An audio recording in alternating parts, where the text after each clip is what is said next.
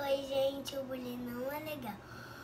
Participa da campanha Eu Digo Não ao Bullying. Tchau, beijo.